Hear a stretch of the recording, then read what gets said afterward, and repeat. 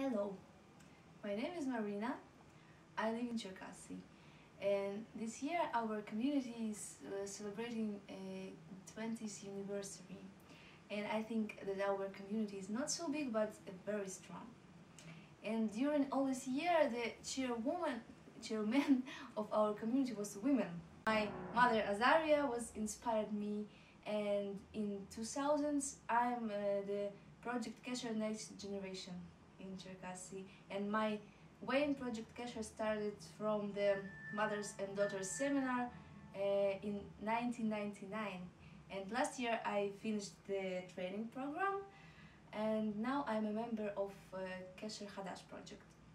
Uh, in Cherkasy, I work with uh, all uh, ages in community, not only work, but I'm a volunteer in different uh, Jewish organizations like uh, uh, Jewish Ag- Agency and Hesed and Jewish Sunday School and many others.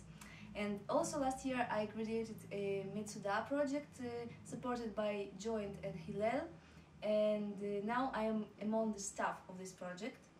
Uh, my dream, and I wanted very much that my generation and generation after me to be social active and share um, Jewish values to make our community stronger and to make uh, the connection between uh, generations more stronger. And I'm doing my best to do this.